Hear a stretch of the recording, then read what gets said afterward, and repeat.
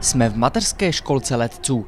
Dnes tu ale mezi kbelskými dětmi jsou i děti ze speciální mateřské školy v Kobylisích. Přijeli se totiž do Kbel podívat na jarní jarmark. Vybrané peníze totiž letos poputují právě jim. Jsme speciální mateřská škola, kde máme 57 dětí s různými druhy postižení. Máme děti s mentálním postižením, s tělesným postižením, s autismem, s vadami řeči. Jarní jarmark pořádá školka každý rok.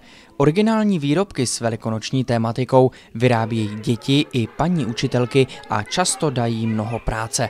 Své vlastní výtvory tu ale letos měly i děti z mateřské školky Štíbrova. Částku, která se vybere, bychom rádi použili na vybavení muzikoterapeutické místnosti.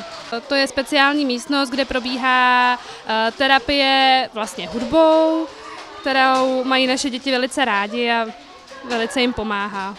Použijeme částku na vybavení hudebními nástroji a e, polohovacími pomůckami. Veškeré výrobky nemají pevně stanovenou cenu. Každý zaplatí, kolik chce.